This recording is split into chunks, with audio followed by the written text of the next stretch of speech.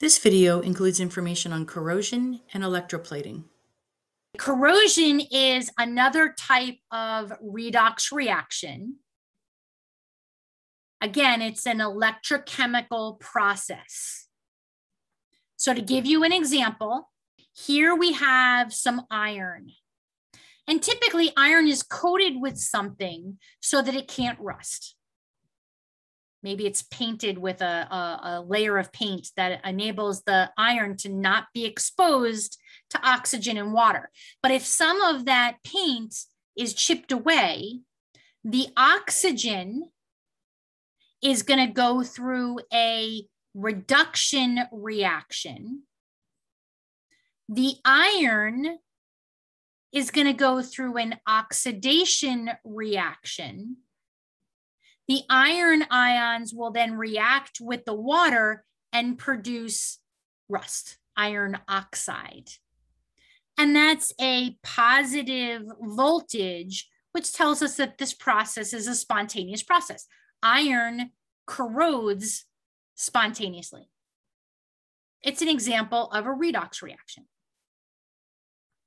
Electrolysis is a process that causes a non spontaneous reaction or reaction that's reactant favored to occur.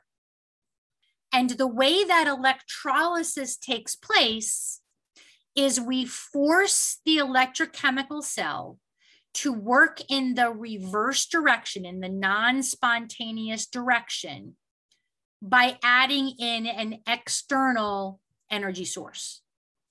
It's used in purifying metals. It's used in electroplating. If we were to look here, here's an example of an electrolysis process where we're going to be turning chloride ions into chlorine gas and sodium ions into sodium metal. We need an electrical source, an outside source in order for this process to take place. And we don't have any salt bridge when we look at these electrolysis processes. So in this case, the chloride ions are being oxidized into chlorine gas and we're generating electrons. The sodium ions are accepting those electrons to become sodium atoms and we're producing sodium atoms, liquid sodium, and we're producing gaseous chlorine. Electroplating. Okay, let's say that we have a solution of silver nitrate and we put in a silver electrode and we put in some spoon. If we add in an electrical source, we're going to electroplate this spoon with silver. What would happen is the silver metal in our anode would lose electrons and become silver ions in the solution. The electrons would flow over to our spoon.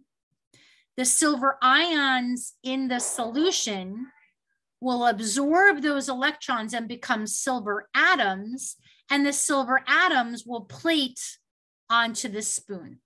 The mass of the silver electrode here would go down over time as the silver atoms are becoming silver ions. And the mass of this spoon would go up over time as the silver ions become silver atoms and plate the spoon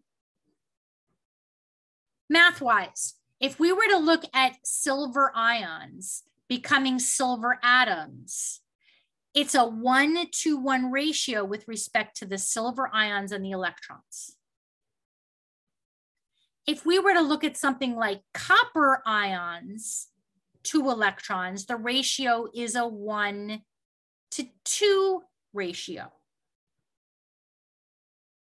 Matter and charge are conserved in chemical reactions. And when we look at these balanced equations, we're going to be able to use the stoichiometry in those balanced equations to figure out how much metal we can plate out in our electroplating process. So the number of moles of electrons transferred during a redox reaction is determined by the flow of electrons in that external circuit. So a couple of equations, charge equals current times time. Current is I, time is T, charge is Q. When we talk about a coulomb, a coulomb is defined as one amp times one second, means the same thing. And charge is converted to moles of electrons with Faraday's constant. So this was written before as 9.65 times 10 to the fourth. This time it's just written out as 96,500 coulombs. It can be written either way. Equals one mole of electrons. So let's put all of that together. And it's going to look like a stoichiometry problem. What mass of nickel will be deposited on the cathode of an electrolysis cell if a current of 20 milliamps for one hour flows through an aqueous solution containing nickel ions. All right, first of all, the nickel ions are going to absorb electrons and become nickel atoms. And the ratio is a one to two ratio. That's going to be important. And we know that our charge equals our current times our time. The current is 20 milliamps. Well, we can convert milliamps to amps the same way we could convert like milliliters to liters. Okay, one milliamp equals 10 to the minus three amps. So here's our current in amps. We'd multiply it by our time in seconds. One hour equals 3,600 seconds. So our charge is 72 coulombs. All right, so now we're gonna do a little stoichiometry we can take 72 coulombs and use Faraday's constant to convert from coulombs of charge to moles of electrons. This balanced equation here enables us to go from moles of electrons to moles of nickel. And then the periodic table enables us to go from moles of nickel to grams of nickel.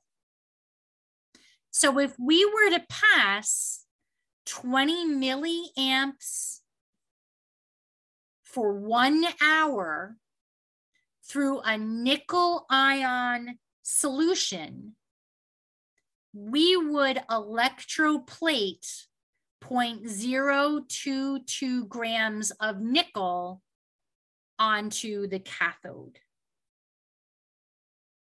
So that's as far as we're